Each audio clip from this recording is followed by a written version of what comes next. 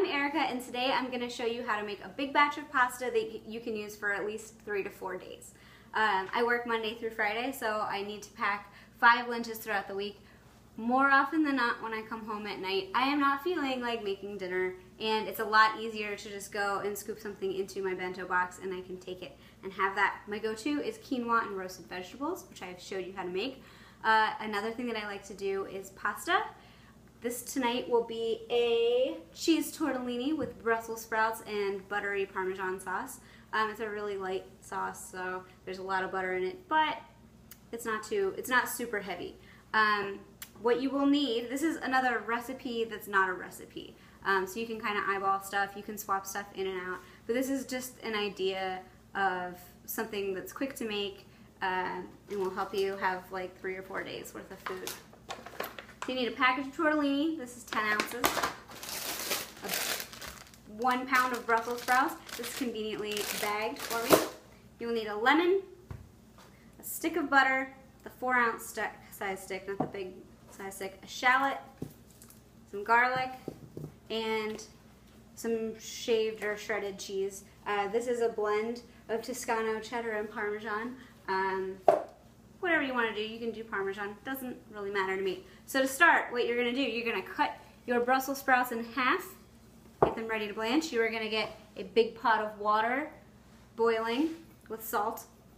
You want to cut up your uh, garlic and your shallots. Shallots are similar to onions. They are in the onion family. Um, they have a little bit different flavor. They're much stronger, so you just need one of those and about two cloves of garlic. Slice those up. Uh, first thing you're going to do Oh, and then you're gonna um, zest and juice your lemon. So do those things and then I'll show you from there. Once you have everything prepped, you're going to melt two tablespoons of butter over medium heat in a large saute pan. So I've got that going. And you're gonna add your shallots and your garlic. And you're gonna cook those for about four minutes. Let them get really soft and it'll start to smell delicious. Once your shallots and your garlic have been going about four minutes, you're to take your Brussels sprouts, put them into the boiling water. Try not to splash yourself. And you're going to let those cook for two minutes. Your Brussels sprouts have been in for two minutes and you want to use a spider or you can use like a strainer or something, um, whatever you like to get them out you want to shake off the excess water. And then you're going to move them over to the pan with your shallots and your garlic. I bought this strainer doodad. It's called a spider on Amazon for like $4. And it has made this recipe so much more awesome because it takes like a minute to transfer everything. You transfer and keep that going because you're going to put your cook your pasta in it. And you're going to toss this and you're going to saute these for maybe, I would think 10 minutes or so I usually do it.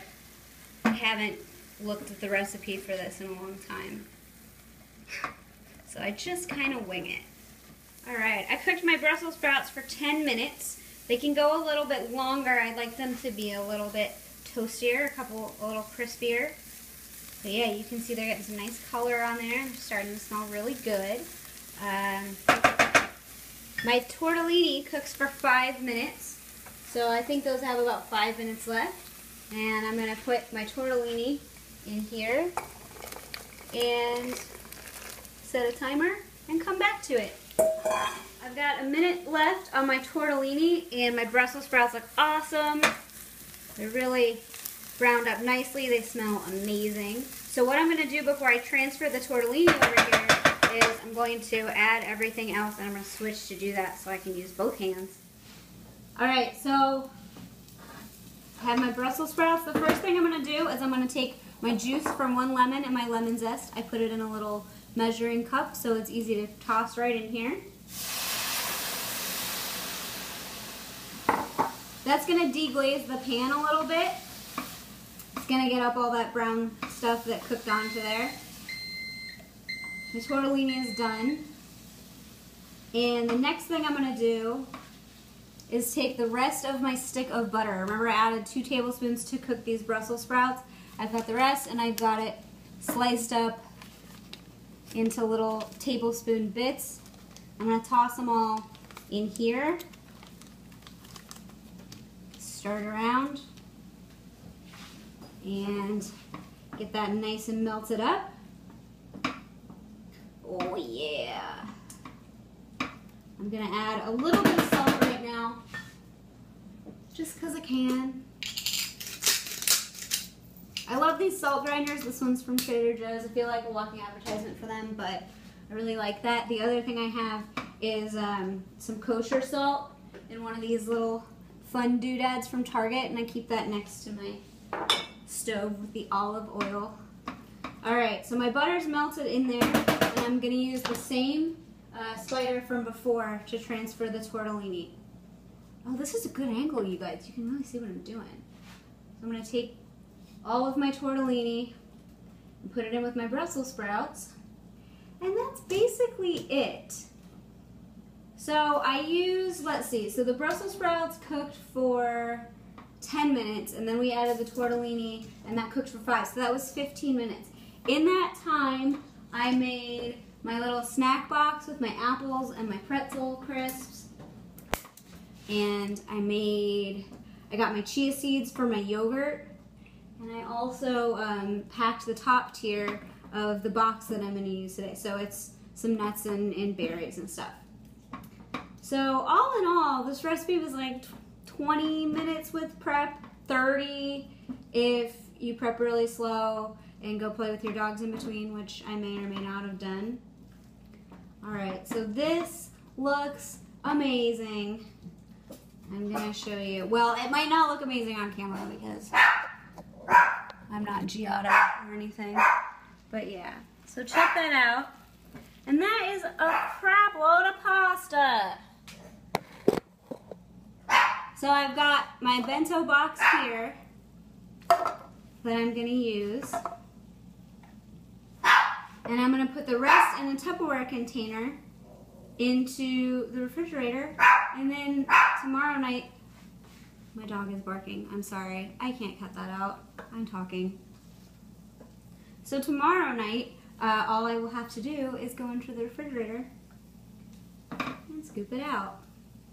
So I wouldn't recommend pasta every day. I mean, pasta with butter isn't the most healthy thing that you could be putting in your body, but I don't make this every week, so whatever. And like I like say, I'm grown up, I can do what I want. All right. The other thing I've got, I've got a little bit of shredded cheese to top it, and I'm to put it right on top of that, uh, right on top of it in that box. Now I'll show you what it looks like.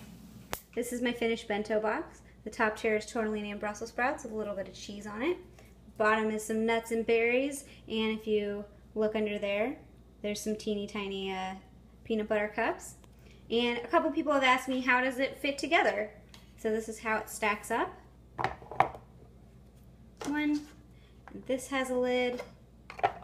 That has a lid. And then I've got my elastic band that goes around and it keeps it all together. Thank you so much for watching. As always, leave a comment. Let me know what you would like to see next. I am open to ideas and I do answer in the comments and I'll try to post um, the actual recipe as the description. So if you don't want to watch this video a hundred times of me fumbling around, you don't have to. You can just reference the uh, the description of it. Uh, but yeah, I like this recipe. I've been making it for like a year or so. Um, it originated with a Martha Stewart Everyday Food uh, blog post, which oh, I miss that blog so much. It is now defunct. I had the magazine for years. I digress. Uh, thanks so much for watching. Uh, let me know what you want to see next. Bye.